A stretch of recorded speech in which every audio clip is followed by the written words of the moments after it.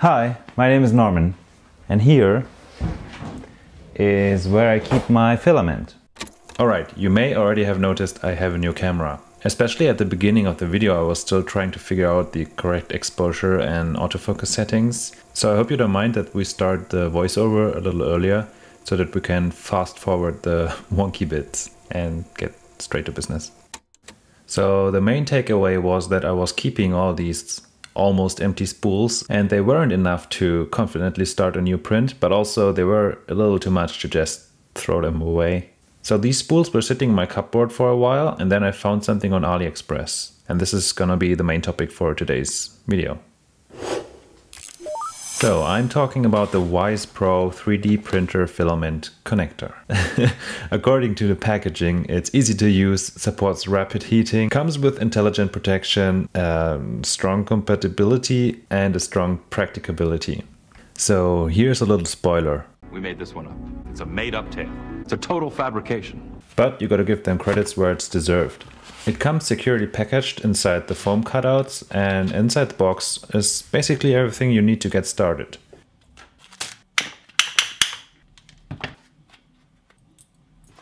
Even though I'm usually the guy to just wing it, this time I decided to use the manual instead. So on one side are the details, how to set it up, and on the back side you're gonna find the times you need to heat the thing in order to weld the filament. So PETG is for us.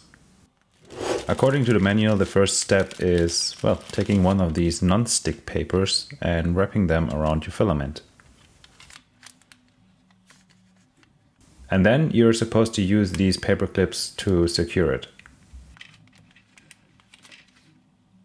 And because we all know from the packaging that it's easy to use, obviously the next step is simply taking the clamp and putting it around the filament.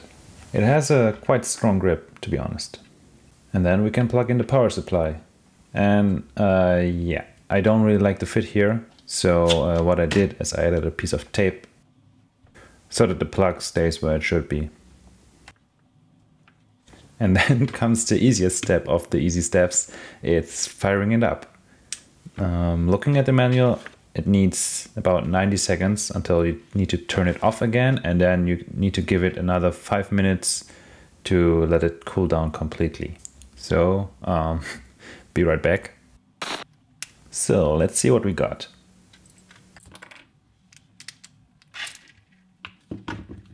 Hello, darkness, my old friend. Yeah, easy to use, right? So I think the main problem is that the filament wants to go where it wants to go. You know, it, it's a little stiff. So I designed something which may help us with actually holding the filament properly in place so that the welding clamp can properly do its thing. Yeah, I know these two little screws on the sides were a little optimistic, so I added a lot of hot glue. and that thing is going nowhere now.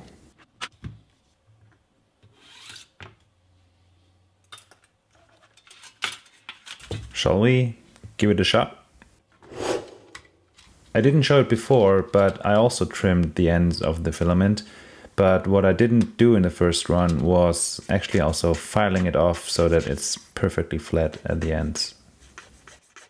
And now I can just push it into my fixture and I don't need to rely on those tiny paper clips anymore to hold everything in place.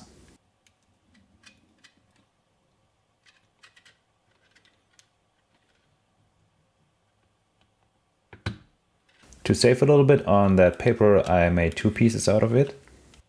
And then I realized that it's really hard to get the paper in there with just one hand because, uh, you know, uh, you need the other hand to open up the clamp. But of course, this clamp is easy to use if you have another clamp to keep the first clamp open. okay, may I correct myself? It's easy to use-ish.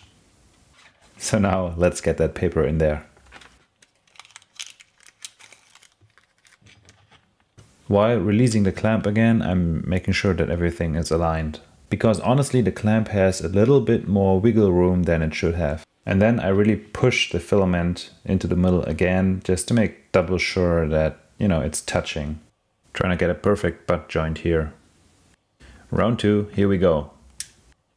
So almost 90 seconds in and I was checking the, the weld and it didn't really feel very solid, so I decided to let it run a little longer. But not too long, of course. So let's see again. I've come to talk with you again. Yeah, still no luck. So I think this time the error was on my side because, well, number one, the fixture was kind of wrong, so that's why you see the new black printed parts. Uh, they are here to fix that. And the second one was that I think that the joint in the middle just didn't get enough time.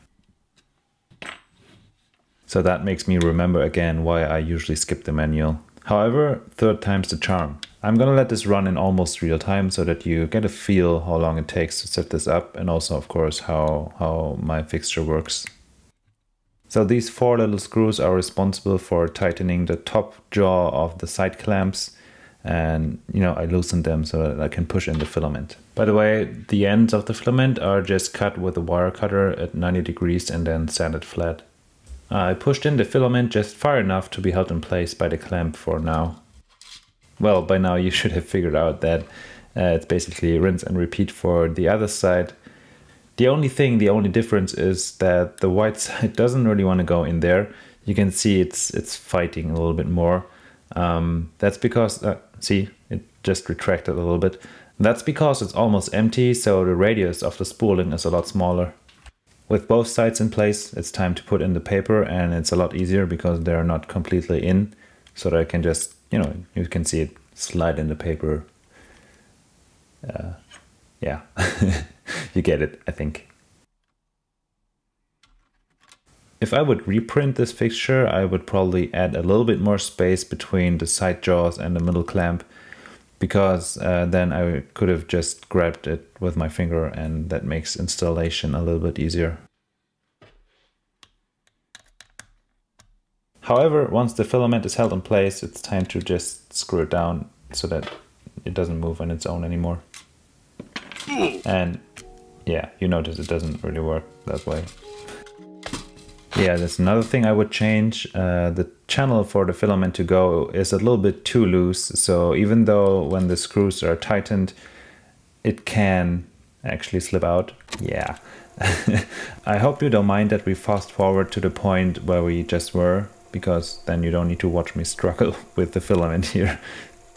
So all the screws tightened, nothing happened, yada yada yada. Now it's time to check if both ends of the filament are actually exactly in the heating zone. So I mentioned earlier that this clamp actually has a very tight grip. Um, so you see me in a second um, releasing it just a little bit to be able to move things inside the clamp. See here. So I'm, I'm tensioning the paper now around the filaments. So without hiccups, the entire setup takes two and a half, maybe three minutes. So I think that's actually pretty pretty okay. Time is running. Let's come back in a few minutes. This time I let it cook for I think uh, more than three minutes. It was about four minutes. And then I just turned it off and came the next morning. So that much cooling time is definitely not necessary, but you know, here we are. This one looks very, very promising. Now have a look at that. That's a really, really nice weld. All it needs is just a little cleanup with the hobby knife. The weld is very nice, but the diameter seems a little off because, well, it's definitely not 1.75 millimeters. Um, so will it print? Well, there's only one way to find out.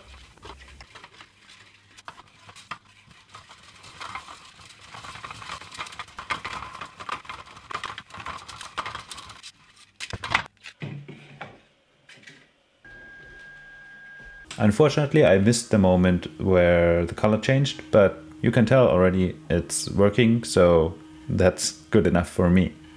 And although this seems like a weird thing to print, uh, I, I actually need this for a future project. So this is not going to waste actually.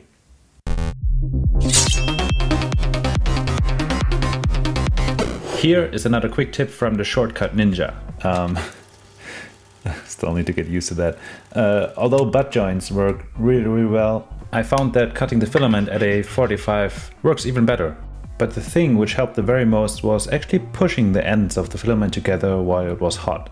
The result which you want to get is this really beautiful and tasty looking squeeze out at the end. That way you know that both ends were molten and under pressure, so perfect conditions for a nice weld. And well, there you have it. Splicing tool and a spliced spool. Uh, yeah, you can tell the spooling is questionable at best. so I'm not, I'm not sure yet if I can print this spool tangle free, but honestly, uh, back in the early days of 3D printing, uh, the cheaper spools, they were all wound like this. And for some reason they all worked. I never had a spool tangle up except once where I messed things up. It wasn't my fault, not the spool's fault. So I think it's gonna print fine. So let's address the elephant in the room. Do you need one of those? Honestly, I no.